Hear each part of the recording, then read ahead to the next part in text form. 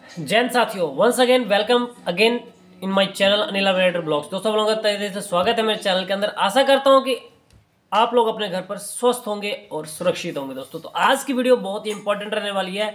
जितने भी मेरे भारत के नागरिक हैं या जितने भी एक्स सर्विसमैन हैं या जितने भी सर्विसमैन हैं, सभी के लिए वीडियो इंपॉर्टेंट रहने वाली है क्योंकि हम सभी को पता होना चाहिए कि जो कतर की जेल से रिहा होने वाले जो आठ भारतीय पूर्व जो नौ सैनिक थे, वो कौन थे? कौन है वो?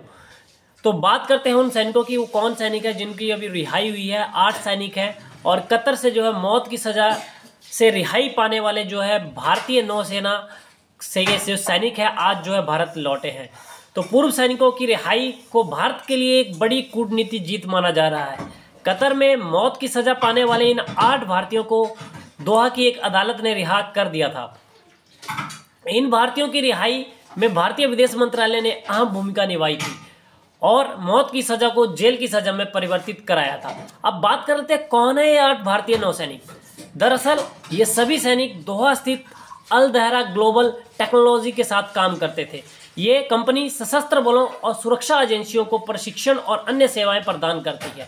पिछले साल 28 दिसंबर को कतर की एक अदालत ने इन्हें जासूसी के आरोपों में मौत की सजा सुना दी थी।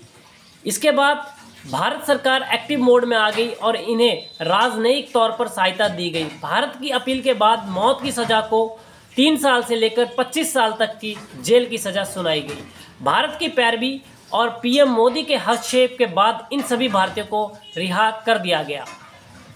अब बात कर लेते हैं, रिहा हुए पूर्व सैनिकों में जो है captain Navtej Gill Saurabh Vashisht, commander Purnendu Tiwari, Amit Nagpal A K Gupta V के वर्मा और जो है सगुनाकर पकाला और नाविक रागेश शामिल हैं।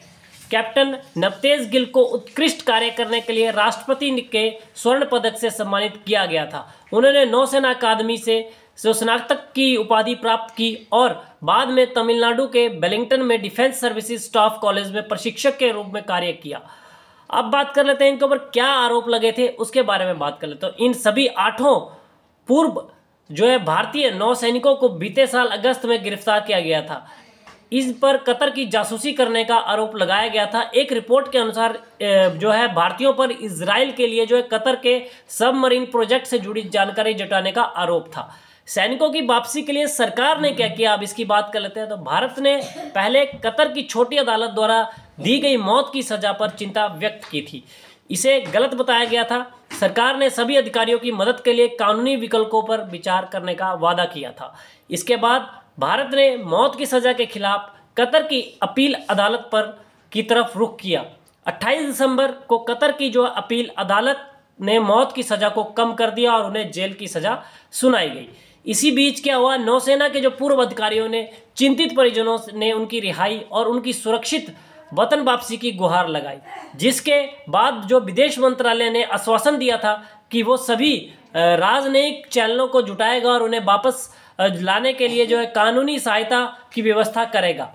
कतर अदालत के फैसले को भारत के लिए एक बड़ी जो है कूटनीतिक जीत भी माना जा रहा है। ऐसा इसलिए क्योंकि यह दुबई के, दुबई में जो है C O P twenty eight शिखर सम्मेलन के मौके पर प्रधानमंत्री जो नरेंद्र मोदी की जो है कतर के अमीर शेख तमीम बिन हम थल थानी के साथ मुलाकात के कुछ हफ्तों बाद आया है।